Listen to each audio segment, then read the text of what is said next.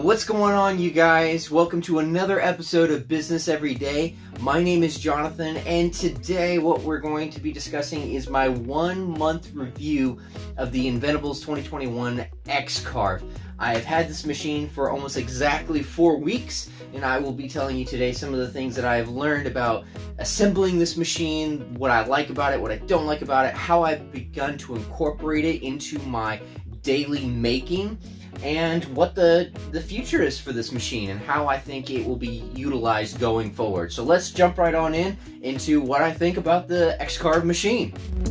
The first thing that I want to discuss is price. I purchased the newly released 2021 X-Carve bundle. This machine came with the new Makita router, the upgraded Z-axis, the upgraded stepper motors, the dust collection system, the whole lot.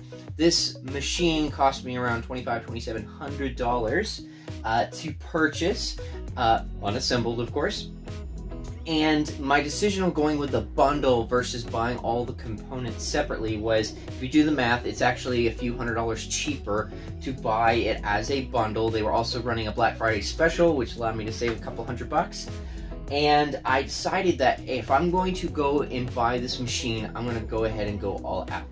Now, the reason I bought the X-Carve versus some of the other brands out there was its track record. Now, there are other machines that have similar track records, but Inventables is probably going to be the first DIY CNC machine that's been out there, at least the longest, as far as I am aware.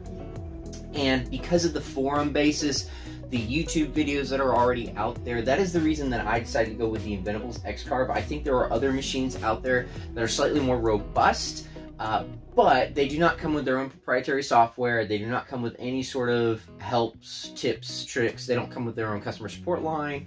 And so that's why I said, okay, I'm going to start my CNC journey with a machine that has one, a track record, a support system, and a community of people that I can engage with and provide content to, but also receive information from on how they utilize the machine.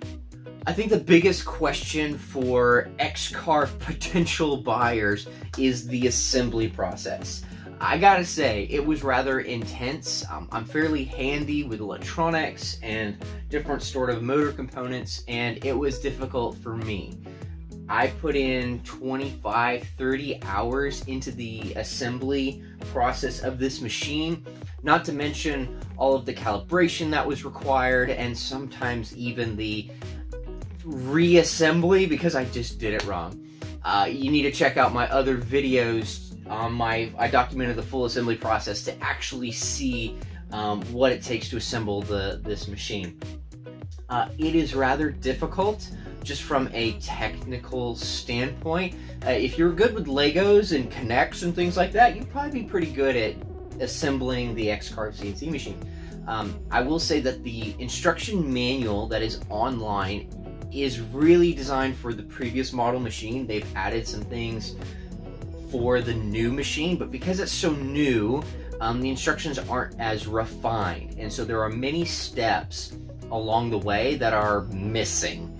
Um, the hardware baggy labeling isn't very clear. And so you got to be kind of intuitive and kind of three steps forward, one step back kind of a thing. Uh, and you will be left with some extra parts, which I did not realize as I was going through it. So I freaked out. I was like, Okay, so when you buy the bundle, um, they provide all of the components as if you were buying things separately. And so, like, the Z axis came with its own hardware, but then the bundle also came with the Z axis hardware. And so I ended up with double the hardware. And so when you're assembling it, um, it just it's going to take a lot of time. You're going to learn your machine in and out so that if you need to do repairs or instruct um, someone on how to use the machine or talk to customer service because you're having an issue, uh, you're going to know every single component very, very well. And I appreciate that about X-Carve, and I also uh, find that as a that's a potential entry or a barrier to entry because it does take a lot of technical skill to assemble this machine. One of the reasons that I purchased the Inventables X-Carve was so that I would have access to the easel software. Um, when you bought the bundle in November, they were offering a three-year subscription for easel for free as just part of the bundle. So I went ahead and did that, and so I have a three-year subscription to the Easel Pro. And the Easel Pro system has some amazing functions to it, and also some very limiting factors to it as well. Um, if you have to think of it as two-dimensional modeling versus uh, something like Fusion 360, which is full 3D modeling and you can create components very, very differently. I'm learning Fusion 360 so I can increase my skill with CNC making, uh, but at the moment I've only used easel. Inventables has a project page in which you can go and pull projects directly from the internet and download them into easel and then begin to carve, which is super awesome and makes things simple. But you have to still make your own adjustments because of your material, because of the bits that you're using. Uh, not everything is intuitive and plug and play. There is some finesse that is required. Um, zeroing your machine, making sure your homing is correct, making sure your spindle rate, plunge rate, feed rate, all those things are correct before you go ahead and carve your material. I do, however, highly recommend Easel. It is a wonderful piece of software for beginners like myself to get started.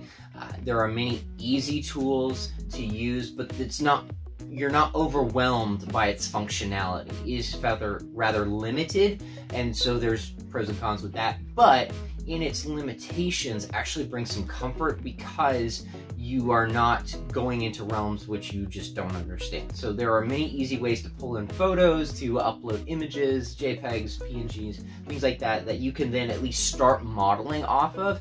And the forum basis is really good. And so if you have a question about how to do inlays or how to do stamps or how I started with my wood toys, there's a lot of good information already out there by X-Carve users that you can pull from.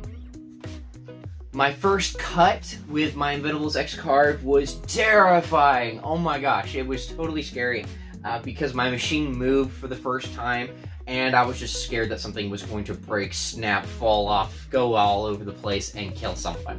Uh, thankfully, none of that happened. I did not break anything. I have yet to break a bit or plunge it all the way through my material. I'm always concerned that I'm going to hit the C-tracks uh, or T-Tracks, and, and it's just, uh, it's a little bit stressful. But I would highly recommend as your first car start with something super simple, um, just a quick outline or something like that, just so you can begin to understand what the settings mean and how to change the homing position for the bit, which I'll do a video on later. It's super easy, but when you're first getting started, it, it seems overwhelming and complicated because yeah, I cut through some clamps and I thankfully didn't have stock material go flying everywhere, but uh, your first carve um, can be intimidating because you are trying out your new $2,500 machine for the very first time and it could break. Um, if nothing else, I've learned that this machine is super powerful and you can break it, which is daunting and scary and there's an excitement there as well. But the machine is more capable than I am at the moment. And so learning to communicate with it properly so that we have an understanding and we can work well together is something that I'm still trying to achieve. So it all comes down to would I recommend the Inventables X-Carve? In simple, yes but I would put caveats on that and say it all depends on what you are trying to do in your making space. For me, I am exploring the wood toy business and a few other avenues that I will be selling products or templates or things like that um, with my X-Carve machine. I wouldn't be able to do that otherwise. And so that was my intent and my purpose of purchasing this device. And so I have a little bit different spin on the reasons why I can justify the spending of the money, spending the time, was because I wanted to challenge myself, but also this is a business avenue in which I'm trying to explore. As a hobbyist, personally, uh, I, it's a it's a it's a lot of money to spend on a machine that you may or may not use for me, I have a compelling uh, component to this that I have to use it because I'm trying to pay for it within the first six months with the products that I sell. And so I have a goal to achieve. If you are just looking to explore this as something to add to your shop, um, I would really make sure that you have a clear idea of what you want to do with this machine, the things that you want to make, the templates, the inlays, whatever it is that you are already doing, how you would incorporate this machine into your shop, into your normal making practices. Otherwise, it's an intimidating machine, and I could see myself assembling it, struggling to assemble it, and then not wanting to play with it a lot because it is there's a difficult learning curve. Um, overall, I highly recommend the machine.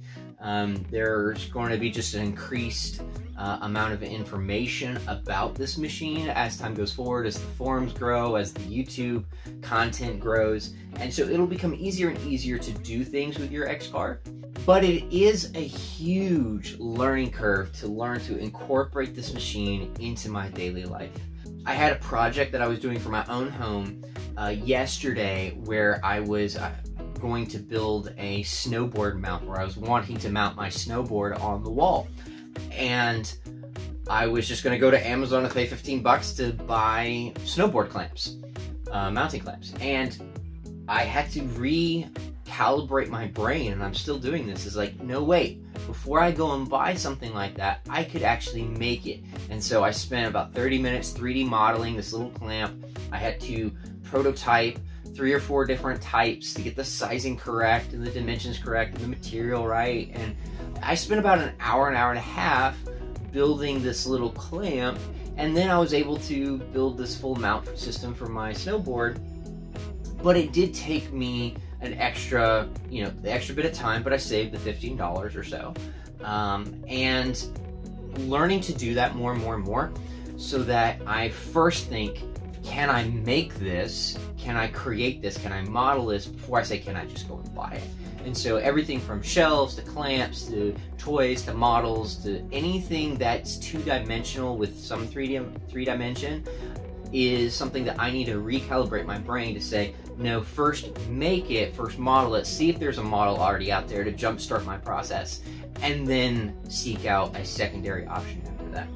Well, thank you guys for tuning in. I really appreciate all of the love and support that I've been getting uh, with my content. I do recommend the Inventables X-Carve machine for you makers, hobbyists, entrepreneurs out there. It is a wonderful device. It is also scary. It is a good bit of money but it has been a fun process to learn to incorporate this machine into my everyday and then hopefully create an entire new uh, avenue in my life for, for revenue and projects and just a whole lot of fun and sharing this with my friends and family and you all online. Uh, it's just been exciting. So I want to thank you and let's keep carving. Catch you guys later.